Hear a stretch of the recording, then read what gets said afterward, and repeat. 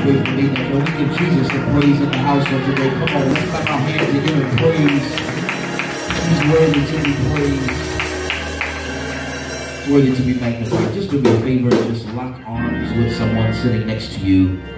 Just lock arms with them very quickly. Let's bow our heads for a moment of prayer. Most gracious and Heavenly Father, we thank you, Lord, for this time, space, and opportunity again that you've allowed us to come into this house to give you praise, honor, and glory. Father, we exalt you and we exalt you, we magnify and micrograph your name, for we realize that from the rising of the sun to the going down the very same, you alone are worthy to be praised. And will forever to give your name glory and honor. Now, Father, as your son stands behind the sacred desk, declare your word to your people once again. I pray that you will sit me down and send up a minister to these nine people. Anoint us afresh. Send forth your anointing that makes preaching effective tonight. In the name of Jesus, bless this word that will fall on ears to hear and hearts to receive your word and will forever to give your name the praise, the honor, and the glory. And now, Father, to hold the neighbor's hand that I am locked arms with today. I pray now, God, that you will pray into their life more strength. I pray into their life more blessings. I pray into their life, God, the things that they may be praying for secretly. I pray that you will bless them with publicly. In the name of Jesus. And we'll be able to give you praise. Now, Father, we thank you for the honoree tonight. We thank you for your woman servant, Overseer Rosalind Young, who we have come to celebrate you for tonight. Now bless us again and we shall be blessed and keep us and we shall be kept. And we ask all these blessings in Jesus' name we pray. Can you just give God the loudest praise you can give him right now? You We are going, amen. Uh, sometimes it is very interesting how you can ask God to bless you but you never know what it's going to take for the blessing to come. Sometimes God will shift things around and you're not even realizing that he's trying to set you up for something good and have no idea. Amen. We thank God for last night. The banquet was awesome. Yes, it was. Amen. We had an awesome time at the banquet last night. The food was excellent. Amen. And we had good church. Amen. In a small period of time. Amen. But we're grateful to be here on tonight. I want you to grab your kingdom constitutions and let's go very quickly to the word of the Lord. In the book of Esther, chapter number 8. Last night I preached from Esther, chapter number 7. And so I want to conclude our series uh, during these two days in Esther chapter number 8. And I will ask that once you have it, that you stand to your feet for the reading of God's word. Amen. That is uh, Esther chapter number 8. Amen. Commencing at verse number 1. To all of the musicians that have played tonight, God bless you. Amen. Overseer, you have outdone yourself again with your hospitality.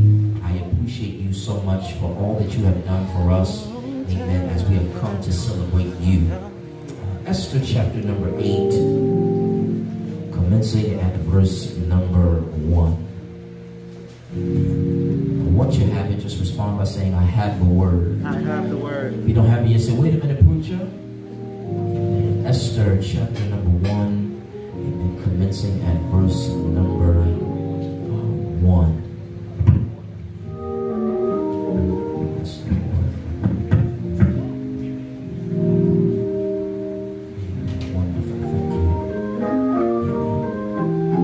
1. Esther chapter number 8, commencing at verse number 1. When you have respond, say, Ooh, there it is. Ooh, there it is. They received the word of the Lord in the King James Version on that day. Did the king Ahasuerus give the house of Haman to Jews enemy unto Esther the queen. And Mordecai came before the king, and Esther told what was he was unto her. And the king took off his ring, which he had taken from Haman, and gave it unto Mordecai. And Esther set Mordecai over the house of Haman. And Esther spake yet again before the king, and fell down at his feet, and besought him with tears to put away the mischief of Haman the Agagite, and his device that he had devised against the Jews. Then the king held out the golden scepter toward Esther, and so Esther arose and stood up before the king. And he said, If it please the king, and if I have found favor in his sight, and the thing seem right before the king, I be pleasing in his eyes, let it be written to reverse. Someone say reverse. Reverse. The letters devised by Haman the son of Hammedatha, the Agagite, which he wrote to destroy the Jews, which are in the king's providence. For how can I endure to see this evil that shall come unto my people? Or how can I endure to see the destruction of my kindred? And, and King Ahasuerus said unto Esther the queen and to Mordecai the Jew, Behold, I have given Esther the house of Haman, and him they have hung upon the gallows, because he laid his hands upon the Jews. Verse number 8 is for you, Mom. It says, Write ye also for the Jews as it liketh you in the king's name, and seal it with the king's ring. For the writing which is written in the king's name and sealed with the king's ring can no man reverse. The word of the Lord is already blessed. Can the church shout amen? Do me a favor, just do me a favor, smile at your neighbor and show them your teeth, whether they are yours or not. Just look at them and just help me announce my text and say, neighbor. That must have been the quiet neighbor, but find somebody who's excited. Look at them and say, oh neighbor he reversed the verdict. Somebody else say, neighbor, the verdict. Look at somebody else with an attitude and say, hey neighbor, he reversed the verdict. Hallelujah. Musicians, musicians, you can park the car. I will come and get you when I am ready. Uh, ladies and gentlemen, tonight we have come to celebrate five years of pastoral ministry for my mother, Overseer Rosalind Young. On last night, we dealt with a woman by the name of Queen Esther, whose name is actually Hadassah, who has been chosen by God to actually change the plan that the enemy has devised for the Jews. As a pastor, you must understand it is not just your job to dress up, sit in the front right. of the pulpit, and just come to church and preach and drive nice cars and live in a nice house. It is your job as the pastor to come and to pour into the very people that God has assigned to your name. I think the problem with many people in church is that they have forgotten the real purpose of pastoring. Many people have made pastoring out to be popularity. It is amazing to me how many broke pastors we really have. You can always tell when they don't have anything when they come to consecrations and ordinations and they ask for $500 and you have all these vestments but can't give up to give a hundred. It's amazing how we make it seem as if that you are higher than the people that you serve when even you yourself are struggling to maintain your building and your own house. It's amazing how pastors have lost the real understanding that as a leader and a shepherd, the Bible says, I have given you some to be that pastor. Everybody is not going to be a pastor. Everybody is not going to be in the forefront. Everybody is not going to be placed into the forefront because everybody cannot handle what it takes to be in the front. Many times when you look at the people that God called to lead or either to bring people out, they had to endure some hardship. They had to endure some. They had to endure some situations. But it is amazing to me that there's never a time that anytime people are in trouble, that God would ever raise up somebody who can bring them out of what they are in. Uh, it is amazing because I saw uh, amazing to me because during this pandemic, I finally began to notice how many people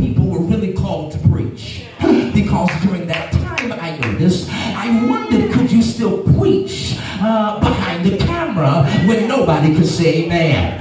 I wanted to see, could you still be able to prophesy when you couldn't see the people that were behind the screen? I wanted to be able to, did you have that same zeal and energy that you gave when you were in the pulpit and people were screaming, preach, pastor, preach, preacher, without nobody's support. But the interesting thing is, I've learned that when you really are anointed, it does not matter if you're in church or behind the camera. When you're anointed, you're still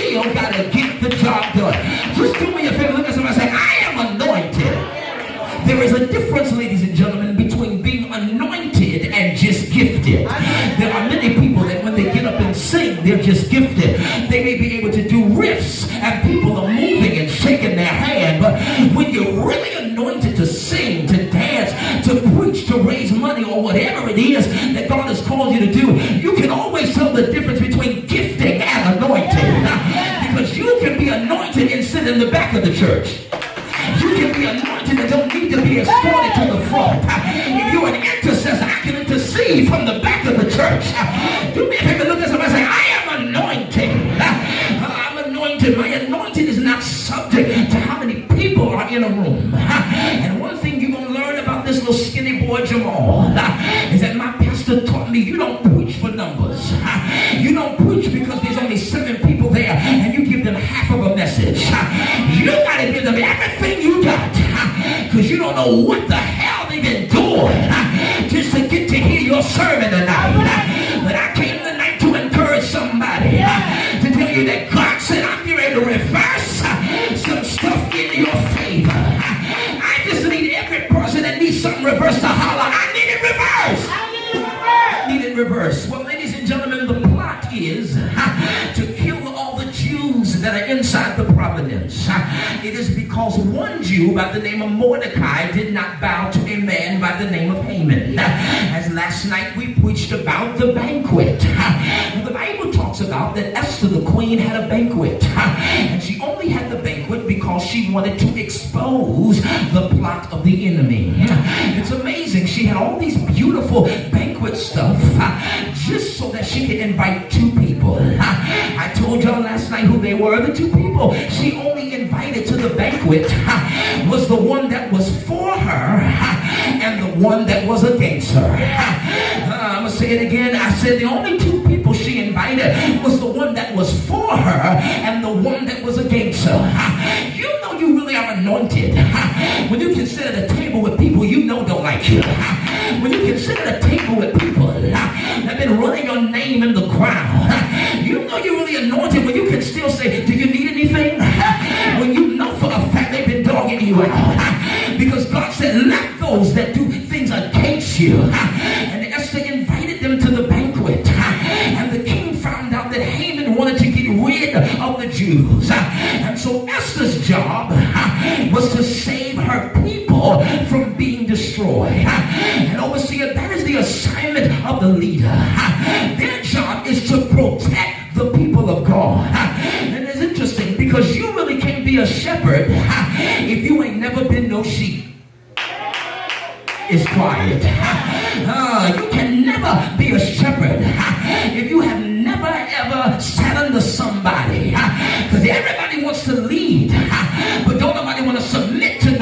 And one of the people I tell people all the time, the only reason why God has allowed me to go as far as I have is because I was submitted to my leader.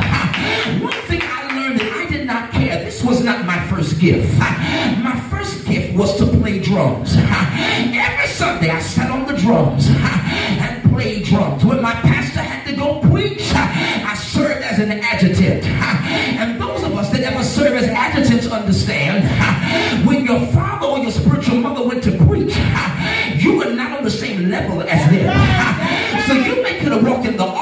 They would tell you, can you step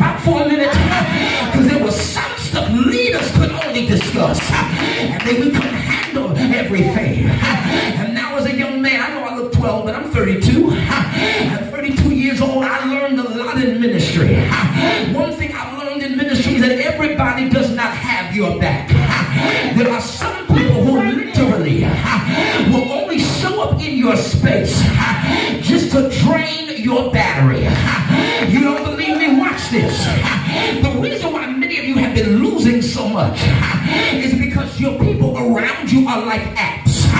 If you have an iPhone, you must understand. If you download too many apps, when the time comes for an upgrade and there's no space in your storage, you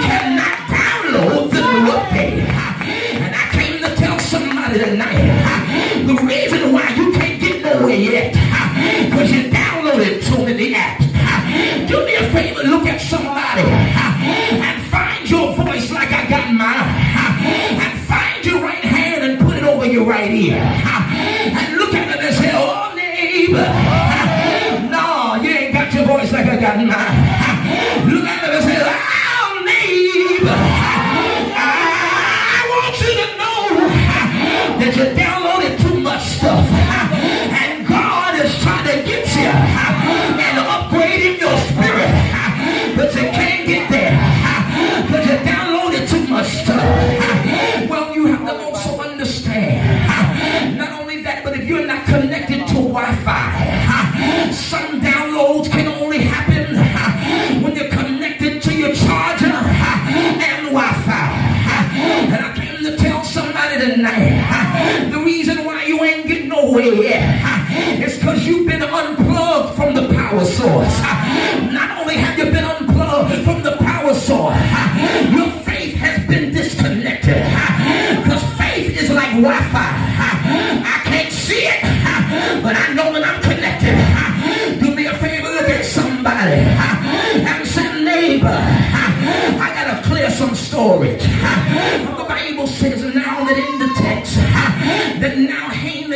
been exposed. And while Haman has been exposed, the Bible says that now that was chapter 7.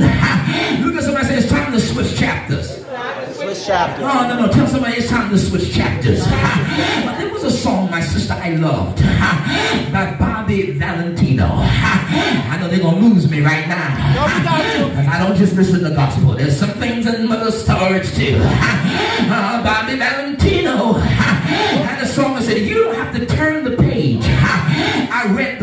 story. It ends with you and me. Uh, You don't have to walk away. But then I had to understand something. I'm sorry. Sometimes the only way to turn the page, you got to finish the last chapter. And the problem with some people, they're trying to jump the chapters before they get the real meat of the story. And what happened is chapter 7 closes with this one thing. I didn't deal with it last night, but I wanted to make sure I added it in with the message. The king was upset when he saw what Haman did. And they dragged Haman out and hung him on the same gallows that he wanted to hang Mordecai on. But then the last verse of chapter 7 says, and the king's anger was pacified. Let me see if I can find you in the room. It says, and the king's anger was pacified, which means this. It's one thing when God is upset and he really is angry, and only one thing could calm him down was death. And I came to tell some of y'all, God said I would stop being so mad at you if you would just kill what I told you to kill. You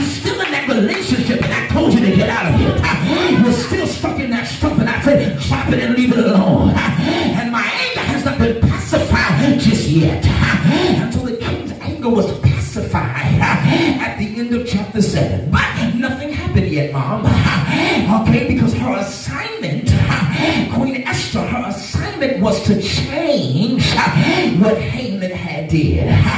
In biblical time, I promise I'm done. Here you go, sir. You must understand that in chapter number 7, that in the olden time in theology in theology, you understand that a king, anything that he writes and decrees with his ring and his signet, it is final. So one day Haman snuck in a document and had him sign it, but the king never read it. The assignment was to kill all of the Jews. He wanted to get rid of them. So now God burst Esther to stop what's about to happen. I gotta pause right here, mom, and tell you the reason why you cannot stop is because if you stop, somebody gonna die.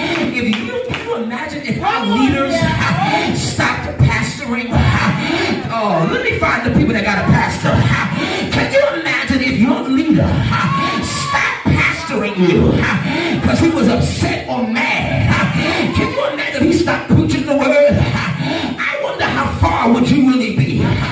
Mom, keep on going because somebody's life is on the line. God, I feel like preaching in this church. Do me a favor, somebody say, preach, boy, preach.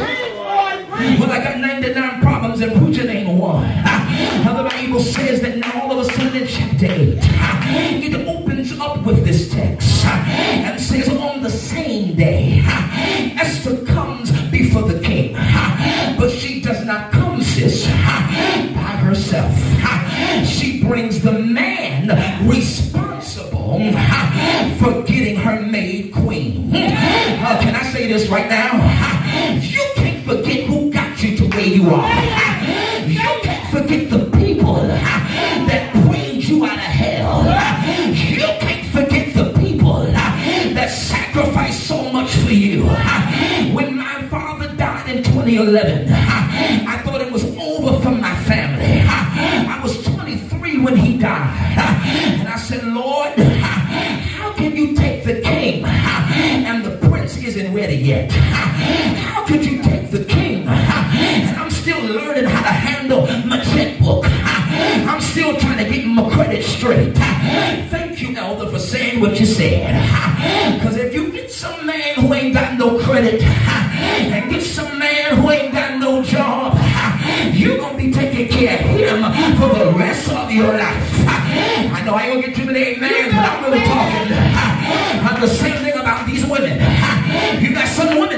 women who don't work no job. My last girlfriend told me, I just want to stay home, babe. I said, this relationship is over. Because you gotta work. I gotta work. How we gonna work this thing together? Uh, y'all don't want to have no church. They don't want to say nothing, amen. They don't want to say nothing, Gavin. Because some people stuck in that stuff right now. Yeah, they stuck. They stuck in it. Watch women struggle, taking care of them, the kids, and the man. But King Ahasuerus loved his boo so much. He said to Queen Esther, baby, what do you want? You can have even up to half of my kingdom. I told them last night, sis, I said, I know somebody told me, oh, the way to a man's heart is through his stomach. I'm skinny. Ain't no coming to no food. There's a different direction you gotta go, honey.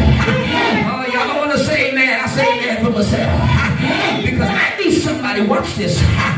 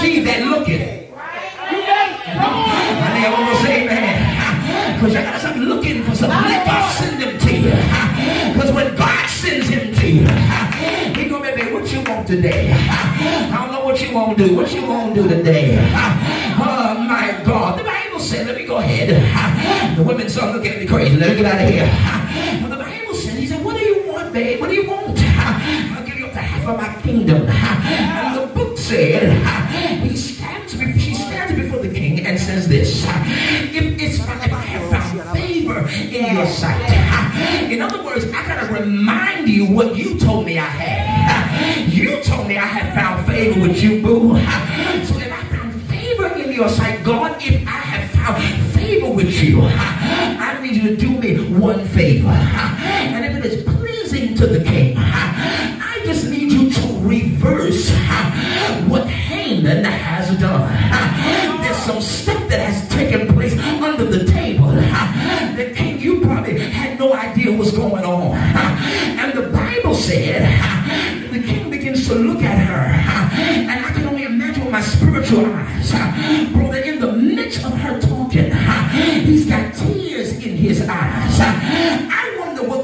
Looks like when I'm telling him about my problems. I wonder what God looks like when he's looking down while I'm going through. I can imagine him sitting on the throne going, come on, Jamal, I know you got some more in you. It's almost like Job.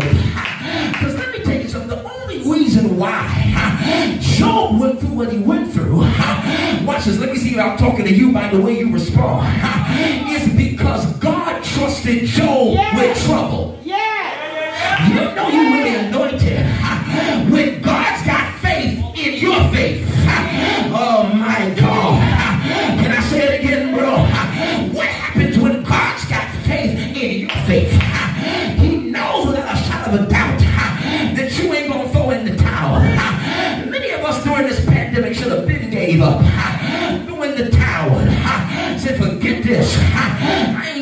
no more. But I'm amazed you said something so profound. You said this pandemic has blessed me. Yes, it has. I know people struggle. I know people die. I'm not, insensitive. I'm not so uh, insensitive to that. But I watched God reset everything in my whole life. Not only reset it, but then I watched Him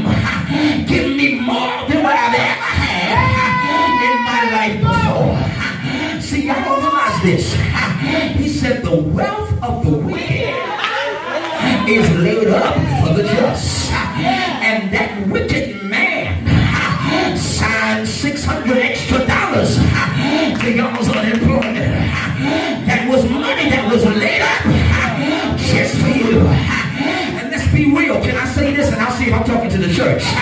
The only reason why the world got some extra stuff because the church had extra prayer. Some stuff the world got because we prayed for it. Y'all living off of what we prayed for. Y'all surviving off of what we prayed for. And God ain't gonna bless the world and not bless us. I need all the blessed people.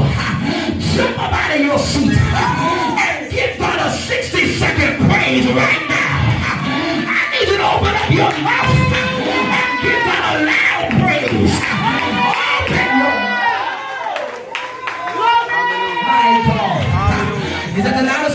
give a God that kept you? I said, open your mouth. Bring back and give God a loud praise right there. Let me get out of here.